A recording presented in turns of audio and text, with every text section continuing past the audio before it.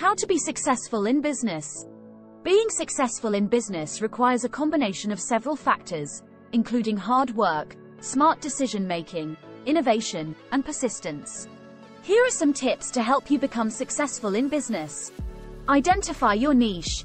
Find an area of business where you can excel and where there is a demand for your products or services. Develop a solid business plan. Create a detailed plan that outlines your goals, strategies, and tactics for achieving success. Build a strong team. Surround yourself with talented and motivated individuals who can help you achieve your goals. Focus on customer satisfaction.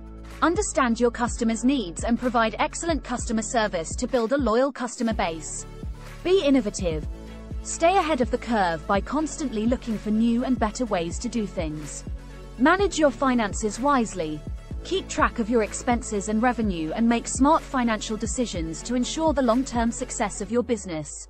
Network. Build relationships with other professionals in your industry and seek out mentors who can offer guidance and support. Be persistent. Success in business takes time and effort. Be prepared to work hard and persist through challenges and setbacks.